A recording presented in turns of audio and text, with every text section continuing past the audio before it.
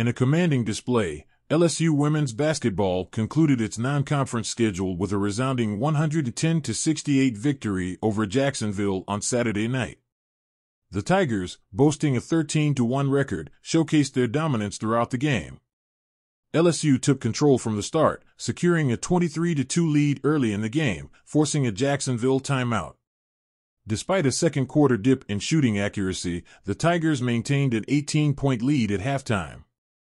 Senior guard Hailey Van Lith made a triumphant return to the court after a foot injury sidelined her for four games in December. Van Lith impressed with an impactful performance, sinking three consecutive three pointers and tallying a season high 11 points.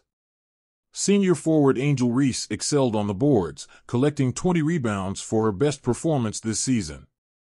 Sophomore guard Flau'jae Johnson also shone, scoring a season high 20 points, her first 20 point game since the previous SEC tournament. With shooting struggles, both teams heavily relied on free throws.